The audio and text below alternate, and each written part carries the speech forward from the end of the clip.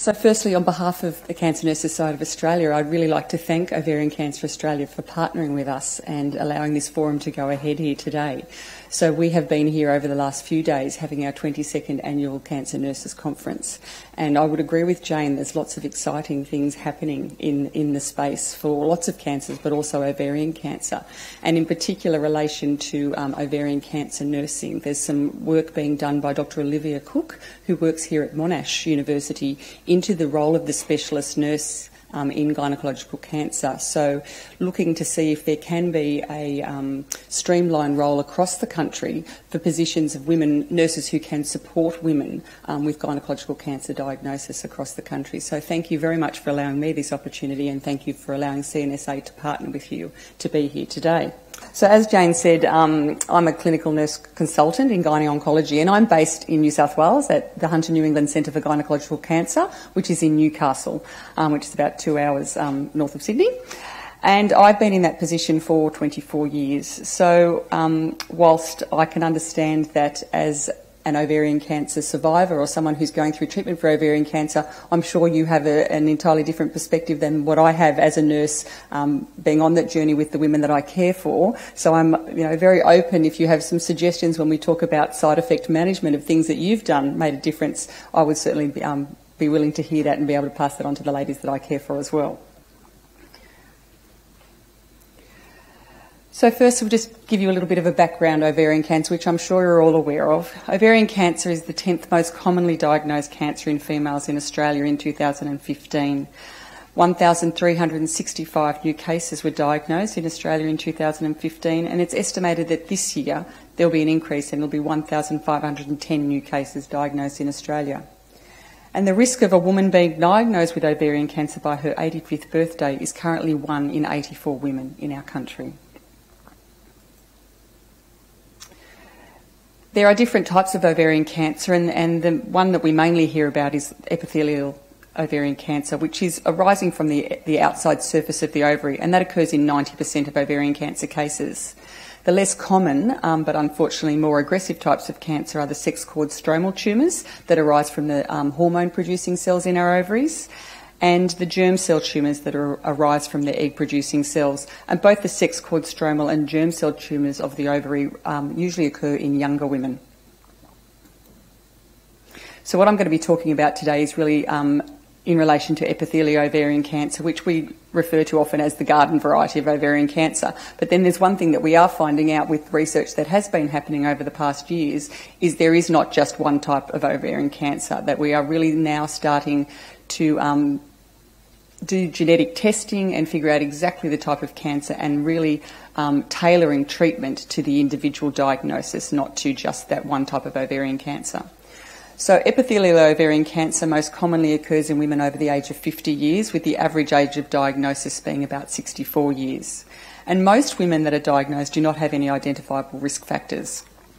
And there's only a 15% um, of genetic predisposition, and that includes the BRCA1 and 2 genes and also the HNPCC genes, which is the hereditary non polyposis colorectal cancer gene or Lynch syndrome, which some of you may have heard of. Um, and if people have a genetic mutation in that HNPCC gene, they're not only at risk of ovarian cancer, but also endometrial, breast, and bowel cancers as well. So there, there becomes a lot of screening involved for those women who have that um, genetic mutation. And of course, we've all heard about the, the BRCA mutation in relation to Ange- Angelina Jolie having um, prophylactic surgery because her mother did have a BRCA mutation. So, unfortunately, um, ovarian cancer in 75% of women is diagnosed when it's at an advanced stage. And that's basically attributed to the fact that there is a lack of a reliable screening test. And I think one bit of information we certainly need to get out there to the general public is that the pap smear is not detecting ovarian cancer. We often think that we go along for our pap smear now that it's, or the cervical screening test now, every five years, that that's all we need to have done as a woman for our reproductive system. Um, and I think there needs to be a lot more education in relation to that. The other part of that is that often when we have a cervical screening test, doctors may not actually do a, pelvic examination or an internal examination. So they, they may actually just be doing the screening test and not doing anything further in relation to that screening. The other thing that it's attributed to is the fact that there the absence of specific symptoms until the, the disease is well established. One of the surgeons that I work for always says that he has ovarian cancer on Boxing Day because he's eaten too much, he's got a bloated belly, he has difficulty going to the toilet. Firstly, he's a man, he's not going to have ovarian cancer, but those symptoms are so vague and so non-specific that, you know, we can attribute them to a lot of things. The positive thing is that if the disease is diagnosed at an early stage, there is a 90% survival rate.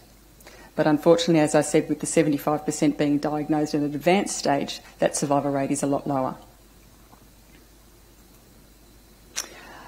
Ovarian cancer is staged according to the FIGO guidelines, and basically the staging is looking at um, how far the disease has spread, whether at stage one it's limited to the ovaries um, or up to stage four where it's going way past both the ovaries and having distant metastases to other organs. So it's in the stage um, three and four group that we see the majority of diagnoses of ovarian cancer. Ovarian cancer treatment is the decision is usually made on a, a, multidisciplinary team discussion. And what a multidisciplinary team is is a team of um, health professionals from all the disciplines. So you have your surgeons, medical oncologists, radiation oncologists, pathologists, radiologists, nurses, and allied health people, psychology, that are all involved in that decision making process where a team sits down and reviews the, the um, test results and the case of a particular woman and um, makes a recommendation for her treatment on, that, on those, those discussions. And the treatment, of course, has to be based on the stage of the disease, so how far it has spread, um, where it's actually located, whether it's going to be easy to be removed, the severity of the woman's symptoms. What have they presented with? Have they presented with just a couple of months of abdominal bloating, or has this been going on for quite some time? Do they have ascites? Have they got fluid in their lungs, which is a pleural effusion? Of course, we also have to take into consideration women's other health problems. So we don't just come along with one disease. Often women come along with other comorbidities such as diabetes, heart disease, cardiovascular disease that may preclude um, them going ahead with some treatments. And of course, the most important thing is the woman's wishes. But the woman needs to be fully informed about what the recommendations and what the choices are before she can then make that informed decision.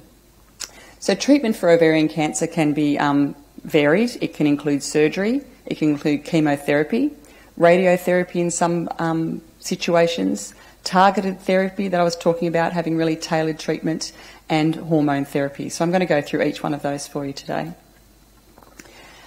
Ovarian cancer surgery basically aims to remove as much of the cancer as possible without, with leaving minimal residual disease, what we call in, in medical speak, R0. So we want to get residual down to zero disease. So as much as we can remove um, that we can't see with we can't see anything with the naked eye.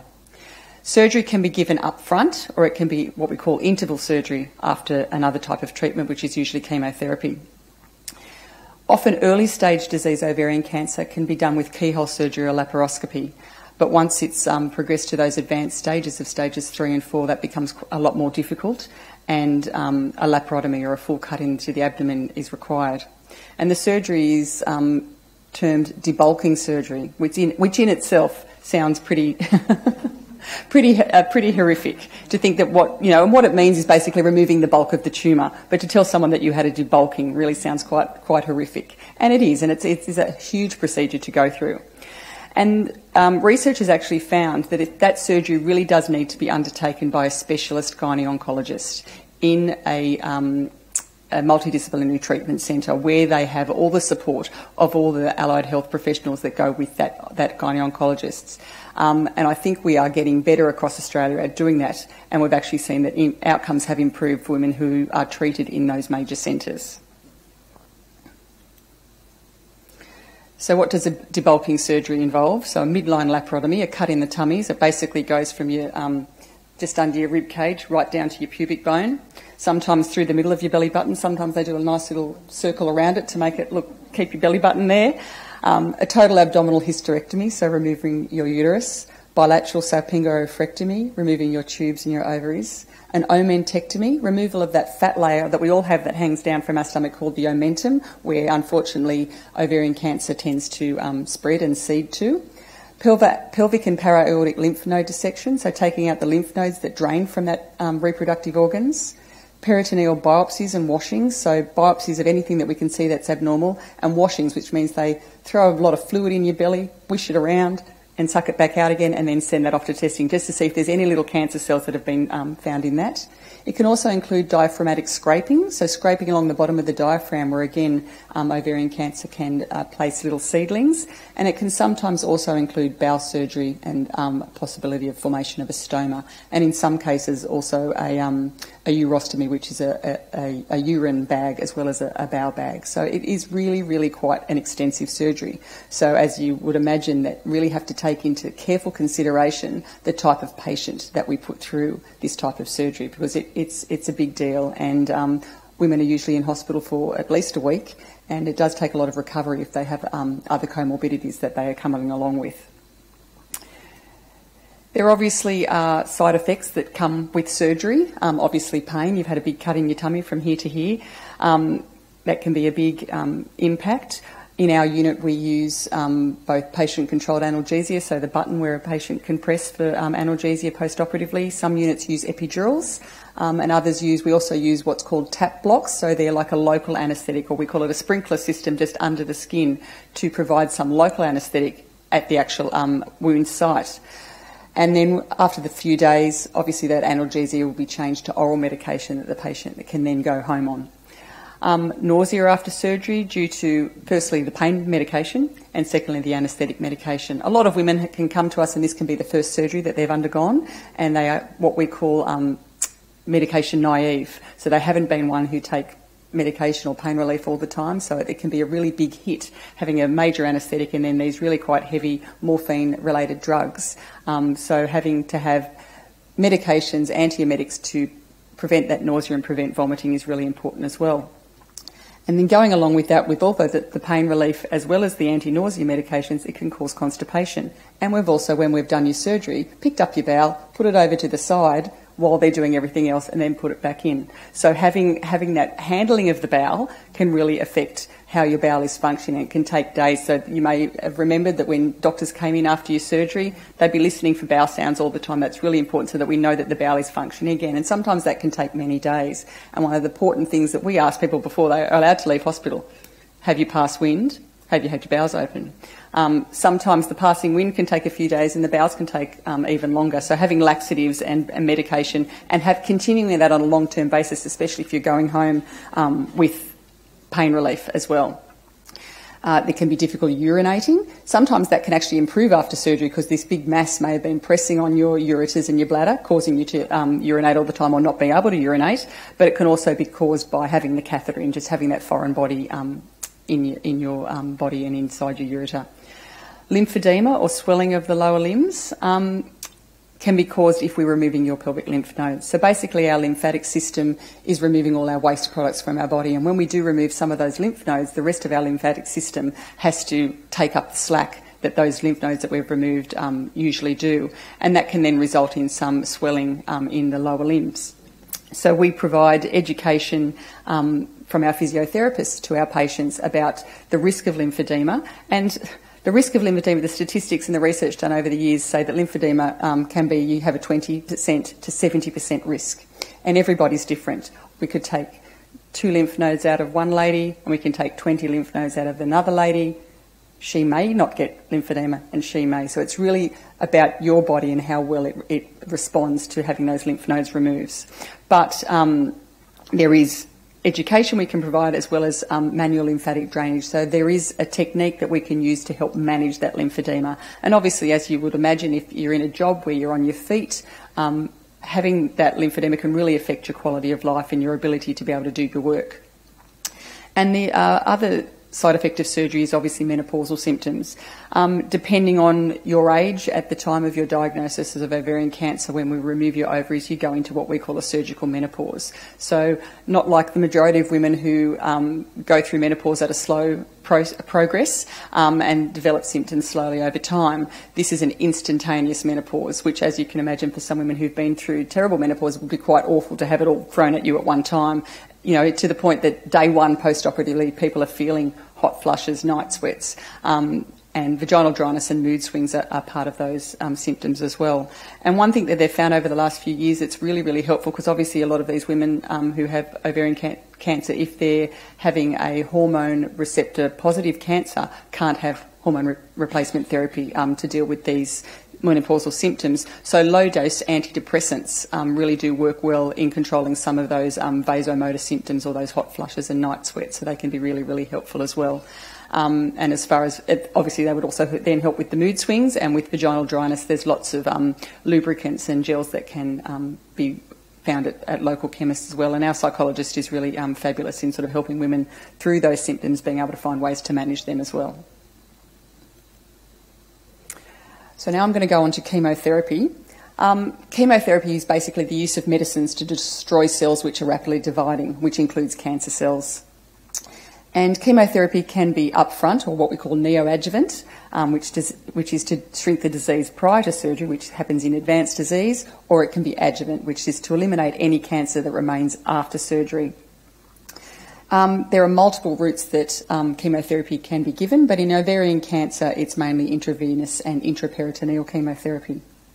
Has anyone here had intraperitoneal chemotherapy?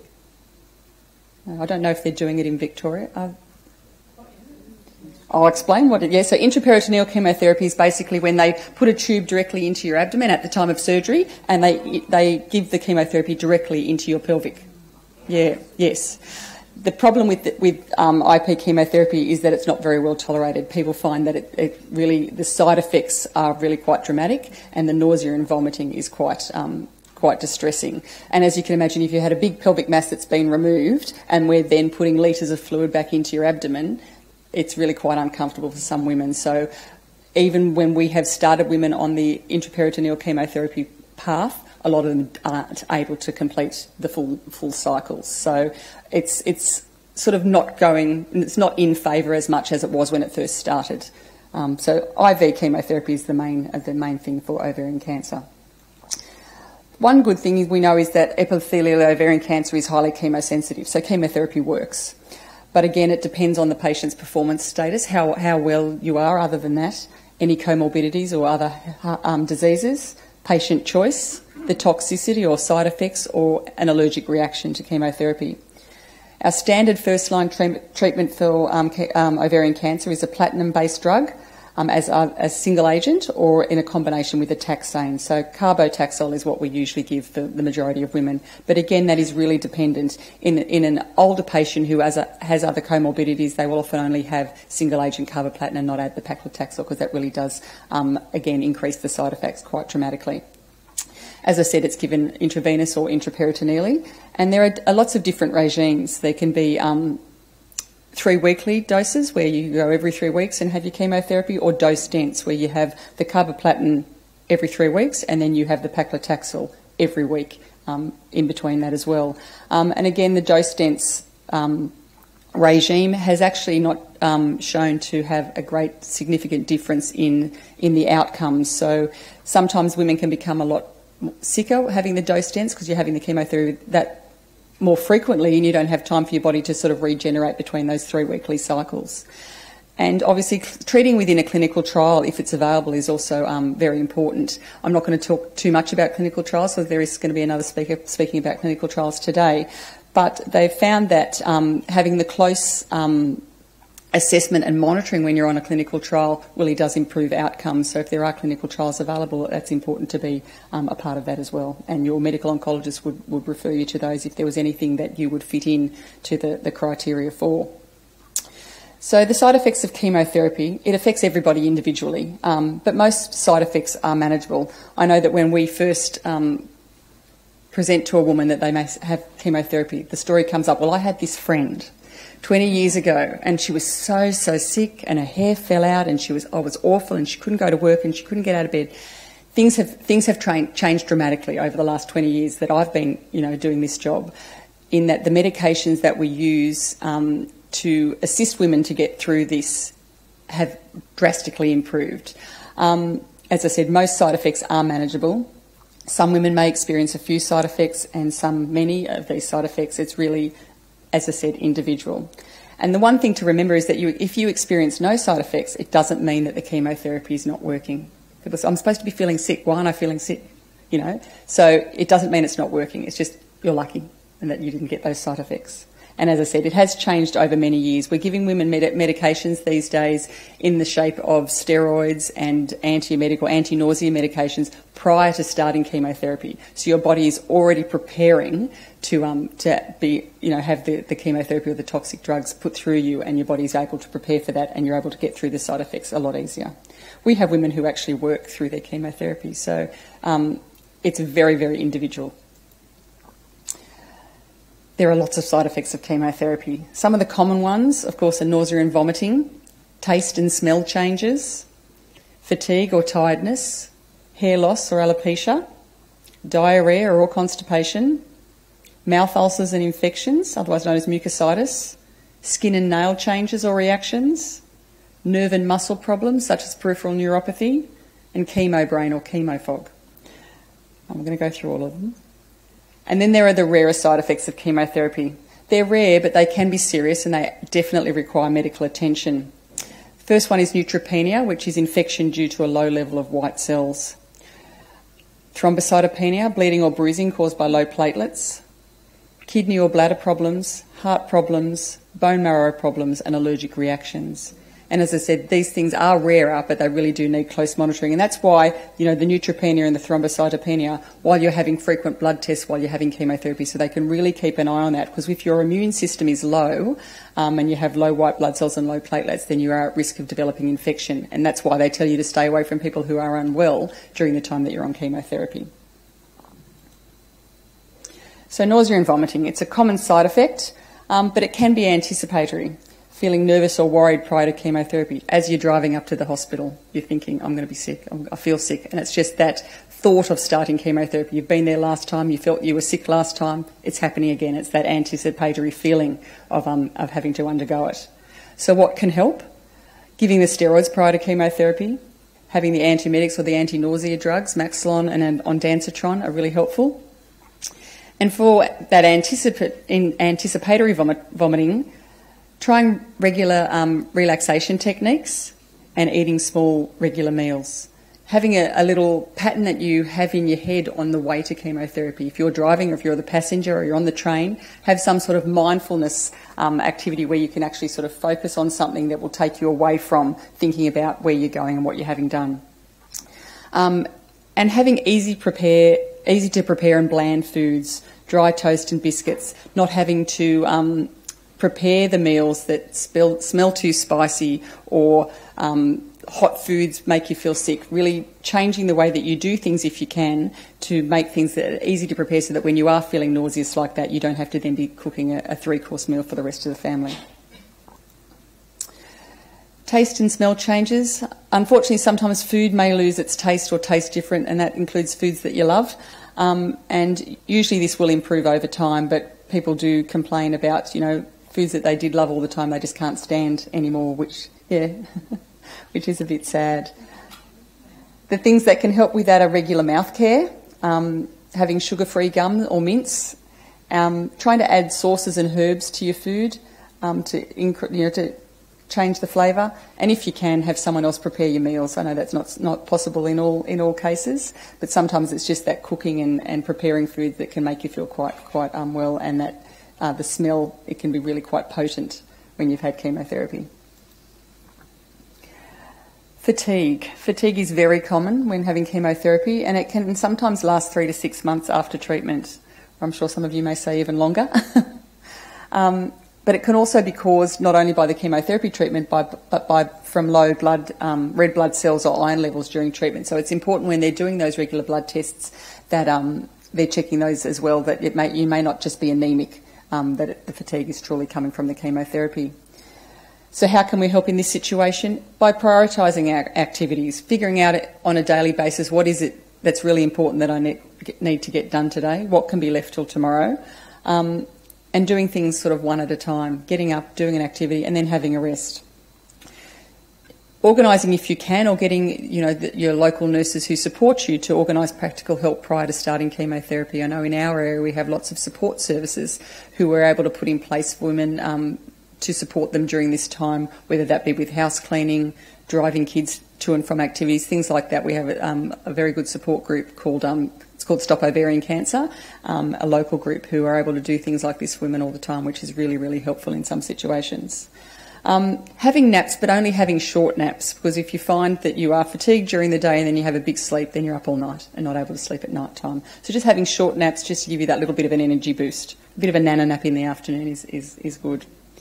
Um, and they've also found, re- re- recent research has found that exercising during and after treatment can help you feel less tired, improves your sleep, your body image, and your mood. We all think, you know, if I'm feeling tired, I should lay down. But actually going out and having a walk um, can actually make you feel better and doing some exercise. There's lots of studies going on in this space at the moment about um, exercising during treatment. Um, and that actually in- includes in some centres, you know, being on an exercise bike while your chemotherapy is being delivered. Yeah. So there's lots of lots of they're really finding that exercise is making a big difference, and it can also improve. Yeah. can you imagine doing that?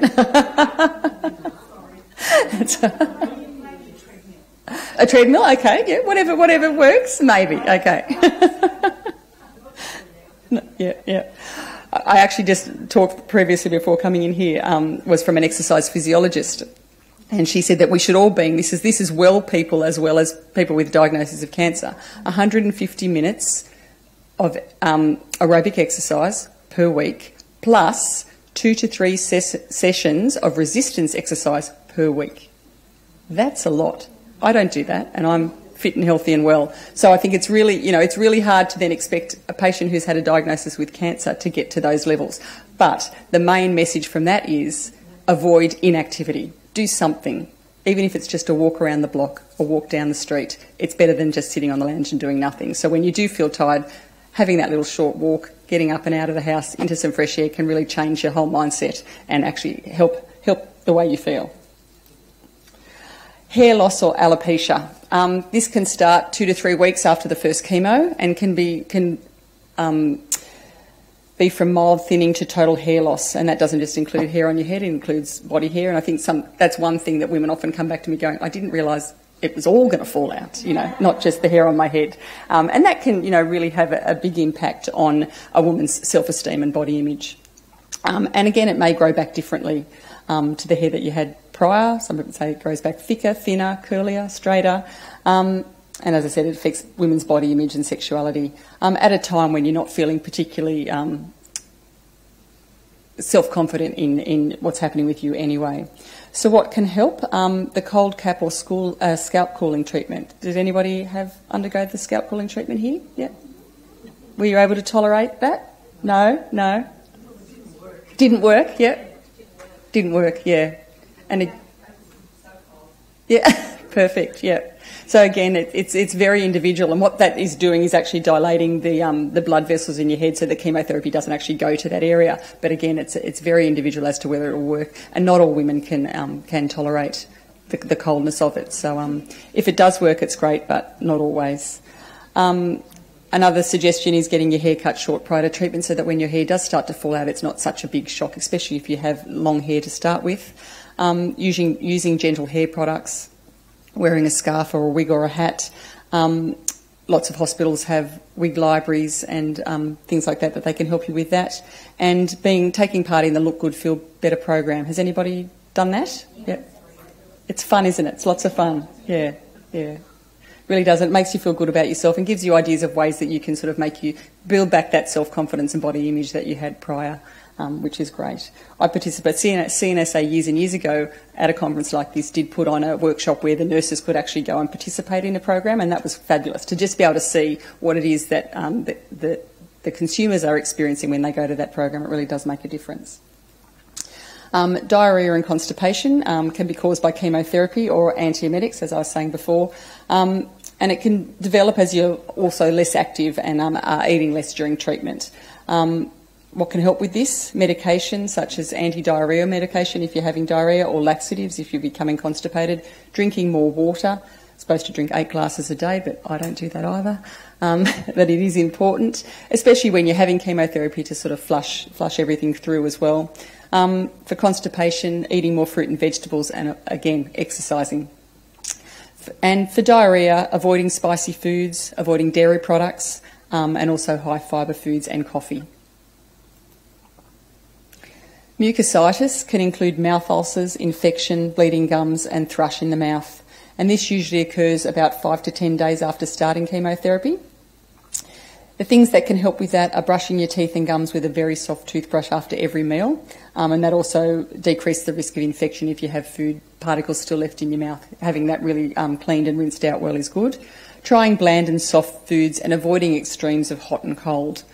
Um, there are lots of analgesic gels or sodibic mouthwashes that can help relieve some of that discomfort, and just basic pain relief things like Panadol. Um, and in some circumstances, dissolving the Panadol and swishing it around your mouth can help as well as, as, as just um, swallowing the Panadol. Skin and nail changes or reactions. Women can sometimes have a red. Yeah? Still got it? Red, bumpy rash or dry, itchy skin. Your nails may become darker, develop ridges and lines, become brittle or flaky. Um, what can help, I guess, with the rash, rash and the dry, itchy skin, non perfumed moisturisers like Sorbolene, using sun protection when you are out in the sun, avoiding getting scratches from cats and dogs and being in the garden, those sorts of things, wearing clothes that protects you, um, keeping your, your, nails clean and short, um, and wearing gloves when you're washing up, gardening, or doing, doing heavy housework so that you're not sort of um, having those exposed. Nerve and muscle problems can um, extend from either just muscle and joint pain and stiffness or changes in sensation in the hands and feet called peripheral neuropathy. Now, peripheral neuropathy um, usually presents as tingling, pins and, needle, pins and needles, um, numbness and pain, and it makes it very difficult to do everyday fine motor activities. So, if you're someone who likes to sew, um, or write or do those sorts of things that they're using their hands all the time, it, it does become really quite difficult. Um, and also with your feet, it does become difficult. Wearing shoes is quite painful as well. Um, with the muscle and joint stiffness, you can use a heat pack to the affected area. Um, again, protecting your hands and feet um, by wearing gloves, oven mitts, and shoes in the garden. And if you can, getting assistance with some of those activities that um, you aren't able to do because you can't, you know, can't get the, jar, the lid off the jar. Those sorts of things become a bit more difficult when you don't have that proper sensation in your fingers and your hands.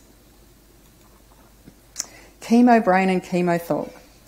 This is um, chemotherapy related cognitive impairment. You might be unable to concentrate, feeling unusually disorganised when you're usually a very organised person, a trouble with your memory.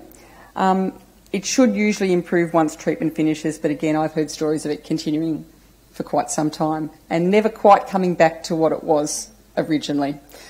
Um, there's research going on into why this happens as well and looking into ways that, that we can improve this um, for patients who are having chemotherapy.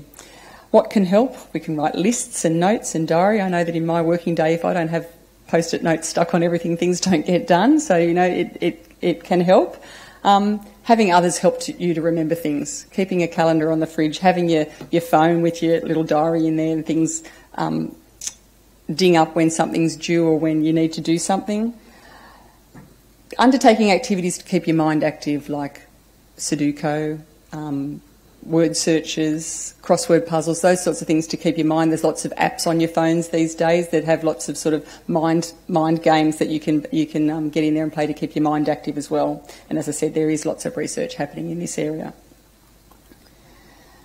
Neutropenia, so getting onto some of the, the rarer but more, more serious side effects. Um, neutropenia is a decreased level of white blood cells, um, and or they're, they're, called the neutrophils. And what neutrophils do is actually help us to fight infection. So obviously, um, if we have a decreased level of neutrophils, then we are at increased risk of infection. That can be life-threatening in some situations. To help with that, we need to obviously wash our hands and do regular mouth care. Um, take your temperature. I'm sure you've all been sent home after chemotherapy with your thermometer and told that if you get to a temperature of over 38, you need to present back to your local hospital straight away and not wait. Um, again, limiting contact with sick people and learning to recognise those signs of infection, which I'm sure are all drummed into you when you go to your chemotherapy education. Your temperature above 38, chills, fevers, sweats, sore throat, cough, uncontrolled diarrhoea, shortness of breath, fast heart rate, or just feeling unwell and you know it's it's um, not advisable sort of to wait, think oh it'll go away. It's just it's it's just something and it'll go away. It's best to pre- present early where these things can be treated and be put on antibiotics straight away if need be. Thrombocytopenia is the other one, which is a decreased level of platelets. Um, what platelets do is to help clot our blood. Um, and then, obviously, if our blood isn't clotting properly, we're at an increased risk of bleeding and bruising. How can we help this? Um, again, having a blood test regularly between chemotherapy cycles, avoiding bruising or cutting yourself if you can, avoiding contact sport or vigorous exercise, um, blowing your nose gently. That's one of the big things is having um, no- nosebleeds when you're on chemotherapy if you have low platelets. Um, avoiding constipation, so not having that straining, using the laxatives on a regular basis so that you're not straining, causing you may have bleeding from your bowel. Using a soft toothbrush to prevent your gums from bleeding, and again, if you have uncontrolled bleeding, going to the hospital straight away. Okay, we'll move on to radiotherapy. Radiotherapy is basically the use of high energy X rays or radiation to stop cancer cells from growing. It's not commonly used to treat ovarian cancer. Um, it's said that only about 5% of ovarian ca- cancer patients will um, have radiotherapy, and it's usually used in the setting to help relieve symptoms such as bleeding, pain, or discomfort. And it can also be used at the time of recurrence. The side effects of radiotherapy often begin two to three weeks into treatment, but can be managed and will gradually improve after the radiotherapy is completed. Um, they include skin problems, fatigue, loss of appetite, nausea and vomiting, diarrhea, and urination problems. So, some things that are certainly similar to um, the chemotherapy side effects, and again, the ways that we can help with that are the same as the ways we can help with chemotherapy related side effects. The main thing with the skin problems is um, a burn. So basically, having radiotherapy is like getting a, quite a severe sunburn. There are lots of topical creams and treatments that can be used these days to help with that um, that skin irritation that can occur with that. Um, again, fatigue, loss of appetite, nausea and vomiting, diarrhea, they're all similar, very similar to the, the side effects. But as I said, only a very small group of, of women with ovarian cancer will have radiotherapy, and it's really about symptomatic relief as opposed to um, a treatment for, for ovarian cancer in itself. Then we move on to targeted therapies. Um, targeted therapies are basically treatment with medicines that are specifically designed to kill cancer cells without damaging normal cells. So while we know that chemotherapy and radiotherapy can also damage some of our normal cells, these targeted therapies are really just basically targeted at the cancer cells. There are two different types that are, that are being used in um, ovarian cancer at the moment. One of them is called a monoclonal antibody, um, and that drug is called bevacizumab, and the other is a PARP inhibitor, and that drug is called olaparib. So a monoclonal antibody um, belongs to a group of drugs called an angiogenesis inhibitor, and basically what they do is prevent the formation of new blood vessels needed for the cancer to grow. Olaparib or a PARP inhibitor is used for women who have a genetic mutation in their BRCA genes, and it prevents tumour cells with a mutation in the BRCA gene from repairing themselves. And in the ovarian cancer setting, it's used in maintenance treatment or recurrence. Question?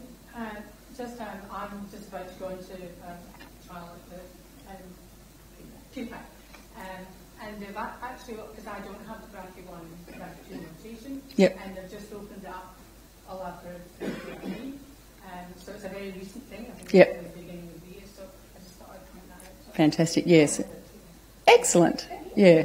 Yes. So the yeah.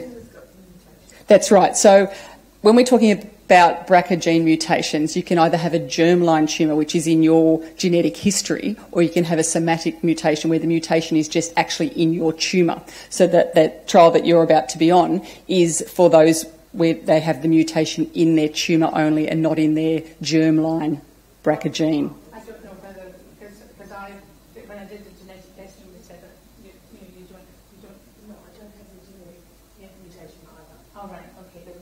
the, yeah. Oh, oh yeah. Because I'm very stage seven. Yeah. Yeah. So yeah, the cells in your tumour have a mutation just in those cells, but that that BRCA gene in the rest of your body doesn't have that mutation. It's just in the tumour. So that's they're hoping that that will work on that. They know that it works on the, the germline BRCA mutation. We're hoping that it'll work on this somatic germline mutation. So that's why these things are targeted. We can actually look at your tumour and see if you have a mutation in your tumour, even if you don't have a mutation in your germline or your genetic um, path. Hmm? There is, absolutely. Look, it's changing. It's changing all the time.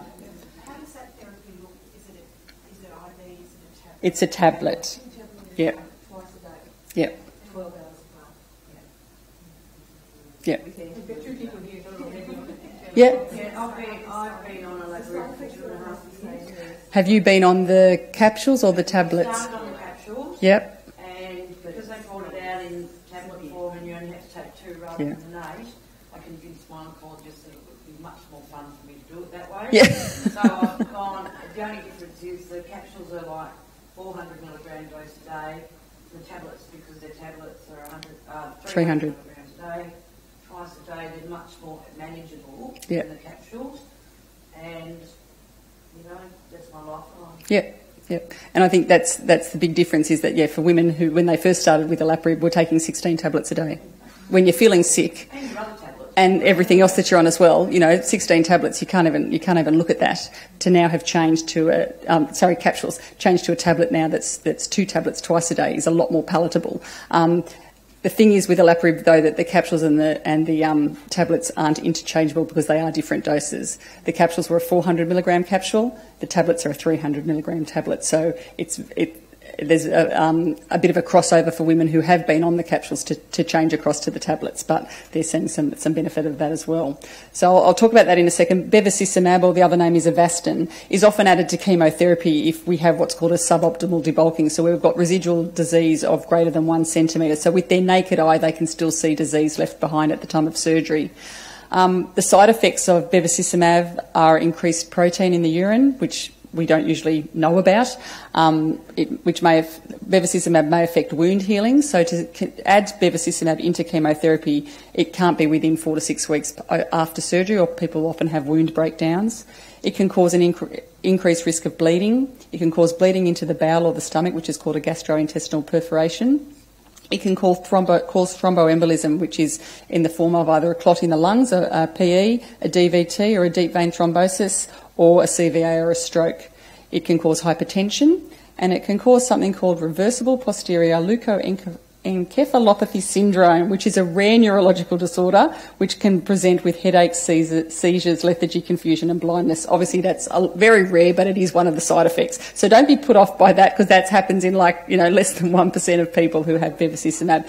But it has shown to um, increase the um, overall survival um, when that's added to the carboplatin and paclitaxel.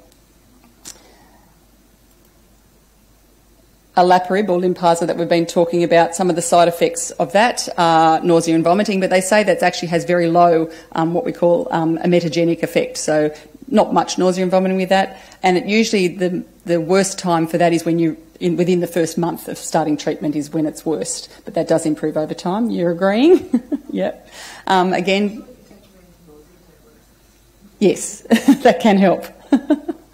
Taste and smell alterations, the neutropenia, the low neutrophils, thrombocytopenia, the low platelets, diarrhea, fatigue, anemia, low blood count or iron level, and sometimes it can cause lung problems, but again, that side effect is, is really quite rare. So as I said, there's, there's, there's lots of studies going on in this space, and this, the um, inclusion of a olaparib on the PBS, which was in 2017, 16, February 2017. 17, um, has really made a huge difference. That was the first big change in ovarian cancer treatment in 30 years.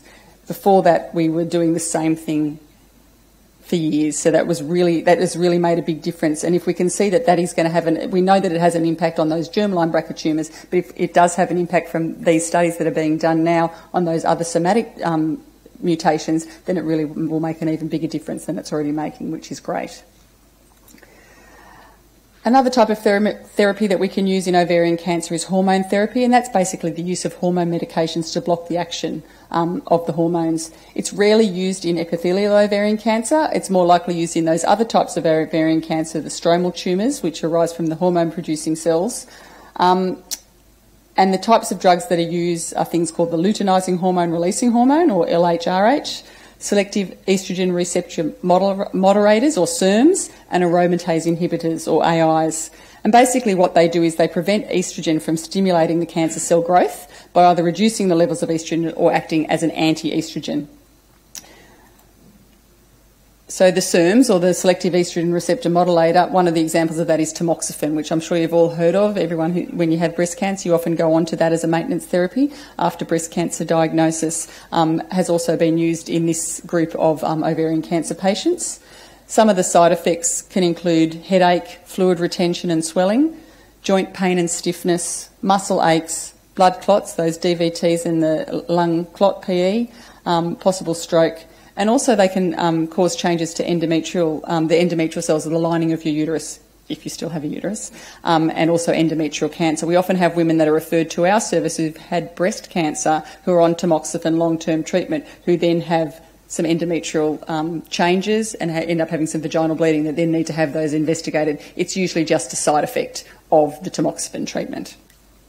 Um, and then those aromatase inhibitors, Arimidex or anastrozole are the drugs that are used there. And the side effects of those um, include joint stiffness, joint pain, some heart problems, osteoporosis, and sometimes broken bones. And that just goes with the, the thinning of the, of the bones, causes broken bones to increase as well. So there's a few different hormone treatments, but again, as, as I said, they're usually used in those um, more rarer types of ovarian cancer, not the epithelial. And then in the recurrent setting, um, treatment for ovarian cancer really again depends on the individual. Um, it depends on the patient's performance status or how physically well they are and physically active, their comorbidities or other health problems, what previous response they had um, to their treatment previously. Did they do well? Did they have many side effects? How well um, how long did they go between the last treatment and, and, and this relapse, the duration of the response, the time since previous treatment, and any previous toxicities. Um, further surgery can sometimes be undertaken if there's an isolated, you know, if on CT scan there's an isolated spot of disease, whether that can be removed surgically. Um, chemotherapy um, can be used, Taxol and platinum, also adding sometimes in another drug called Caelyx, and of course olaparib. Um, and as I said earlier, radiotherapy um, is often used in this case for symptom management um, with pain and bleeding and those types of things. So there are still options when the cancer occurs um, that I think sometimes people think that you know you've had one lot of treatment. It really is looking at it, and it's often taken back to the multidisciplinary team meeting where they'll look and go, okay, what was the response to chemotherapy last time? How long has that time been since the last treatment, and then really assess what other health problems are happening for the patient at the time to then make a recommendation as to um, whether they should have further chemotherapy or further surgery, and whether surgery would be an option and whether they're able to remove, depending on where that isolated um, spot of disease might be. So there are certainly certainly options, and I know women who you know have gone on to have many many um, cycles of chemotherapy and after recurrence. thank you very much. Thank you. Thank you.